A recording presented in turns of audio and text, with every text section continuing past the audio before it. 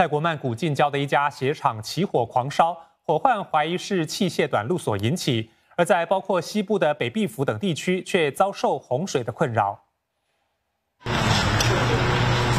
浓浓黑烟冲天，现场传出多次爆炸声响，烈焰很快将沙漠巴干府这座鞋厂吞噬。消防员花了大约两个小时将火势控制下来，也出动直升机空中洒水灌救。由于厂里存有大量化学物，当局正在调查这些化学物或有害物质是否已释放到空气中造成污染。